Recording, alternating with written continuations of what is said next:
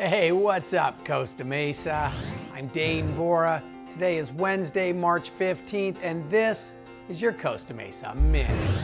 Tomorrow, the Costa Mesa Chamber of Commerce is hosting their monthly breakfast boost over at the Costa Mesa Country Club beginning at 7 a.m. Join the Chamber and guest speaker Nikki LaPiana for a nice breakfast and an opportunity to learn more about the OCTA's I-405 improvement project. Please contact the Chamber for more information.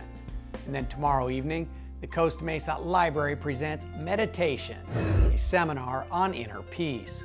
Stop by and learn meditation techniques to help with relaxation and peace of mind. And speaking of the Costa Mesa Library, they are hosting TED Talks today at 11 a.m. And every first and third Wednesday of the month for that matter. Enjoy inspirational videos, coffee, tea, and a discussion preceding the presentation. Please contact the library for more details. And finally, our friends at the Senior Center are hosting their annual Knowledge and Health Fair Expo today.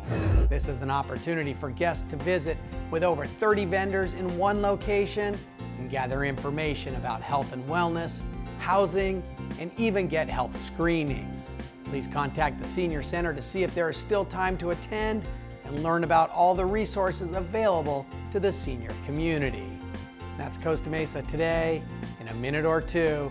Remember, if it happens at Costa Mesa, it's news to us. I'm Dane Bora. Don't forget to get those brackets filled out.